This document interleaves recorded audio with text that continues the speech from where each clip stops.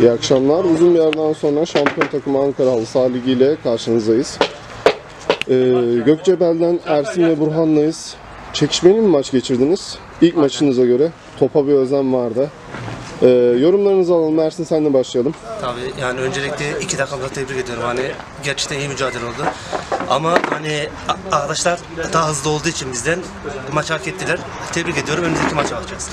Burhan senin yorumların neler olacak? Valla uzun bir süreden sonra öncelikle bizim diğer ligden başlayalım.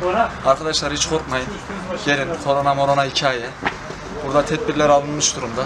Rakip takımı öncelikle tebrik ederim. Çok iyi bir takımlar ve seriler. İlerideki önümüzdeki maçlara bakacağız. Çok teşekkür Takım ediyorum. arkadaşlarımın da ayağına sağlık. Onur Hoca'ya da tekrardan teşekkür ederiz. Teşekkür ediyorum. İyi akşamlar İyi diliyorum. akşamlar, sağ olun, teşekkür ederim.